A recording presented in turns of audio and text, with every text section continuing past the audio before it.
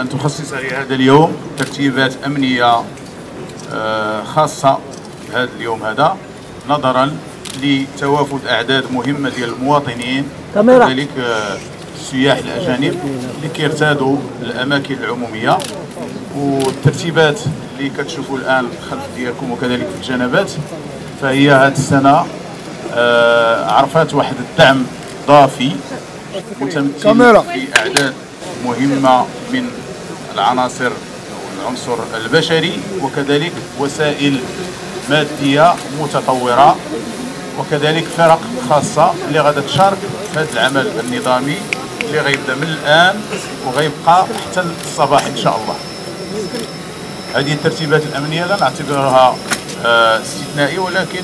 يعني باش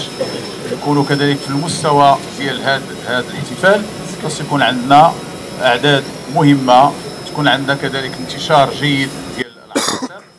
الأمنية والسيارات باش نوفروا للمواطن اللي كيرتاد الأماكن العمومية وكيرتاد مدينة الدار البيضاء عموما أنه توفر له الشروط اللازمة باش يسهر هذه الليلة إلى غاية الصباح في ظروف آمنة وسليمة إن شاء الله.